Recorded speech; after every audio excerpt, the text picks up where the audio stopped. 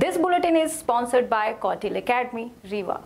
खबर रीवा से है जहाँ जिला अधिवक्ता संघ रीवा के अधिवक्ताओं ने एक अधिवक्ता को महिला के द्वारा फर्जी मामले में फंसाने का आरोप लगाया है और पुलिस अधीक्षक से पूरे मामले में महिला के खिलाफ कठोर कार्रवाई की मांग की है महिला पर आरोप लगाते हुए अधिवक्ता ने बताया कि अधिवक्ता इंद्रेश मिश्रा ने महिला के भरण पोषण का केस लिया था जिसमें महिला को तीस दिया जाना था लेकिन अवार्ड पारित होने के बाद फ़ीस की रकम देने से बचने के लिए महिला के द्वारा अधिवक्ता को बलात्कार जैसे जघन्य अपराध में फंसाने का षड्यंत्र किया जा रहा है, जो कि पूरी तरह से अनैतिक है। और इस मामले में महिला पर कठोर कार्रवाई की जानी चाहिए। आइए सुनाते हैं अधिवक्ताओं ने पूरे मामले को लेकर क्या कहा है।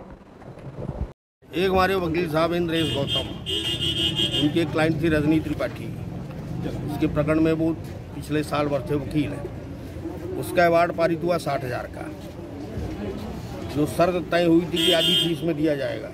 अब फ़ीस न देना पड़े तो बलात्कार की रिपोर्ट कर रही जबकि वो वकील साहब को फ़ोन में धमकी दे रही थी। वकील साहब ने एक दिन पहले रिपोर्ट की कि फ़ोन में हमको ये धमकी दे रही है। अब वो उसी चक्कर में उनके खिलाफ मुकदमा कायम कराने वाले और घटना बता रही है चार महीने पहले की। घटना बता रही है चार महीने पहले की, उसके बाद लगातार बेसी में आ रही है। लेकिन अब ये काम कर रही कि कहीं पैसा ना देना पड़ जाए। यही तो तय हुआ था कि जब पैसा हमको मिलेगा हमारे पास अभी नहीं है तो आपको इकट्ठा दे देंगे। अब वो इकट्ठा तीस हज़ार इनको देना पड़ेगा। इसलिए वो रिपोर्ट कर रही है। तो तो होना चाहिए सर। हम तो वकील है उसमें।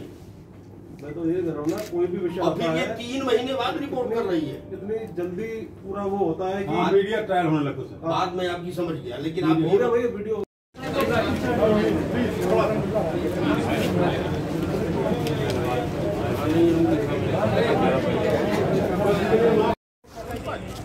भैया भैया।